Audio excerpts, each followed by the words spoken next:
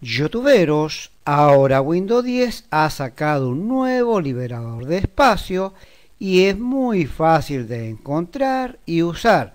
Pulsamos sobre el icono de Windows 10, damos un clic sobre la rueda dentada, presionamos sobre configuración, hacemos clic sobre sistema y presionamos sobre almacenamiento. Para hacerlo todo más sencillo, pulsamos sobre archivos temporales Esperamos unos segundos y damos un clic sobre quitar archivos y ahora Windows 10 ha quitado del sistema los archivos que nos sirven. Así de fácil y sencillo. Suscribiéndote a nuestro canal, YouTube te avisará si hemos subido otro video. Pulsando sobre la pestaña mostrar más que está debajo de este tutorial, aparece este link para averiguar de cuántos bytes tu computadora, 32 o 64 bytes.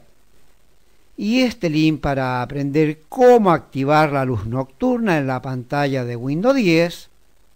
Y este link para aprender cómo pasar archivos de una cuenta de administrador a otro en una misma PC. Y este link para aprender cómo se hace para actualizar Windows 10 en mi computadora.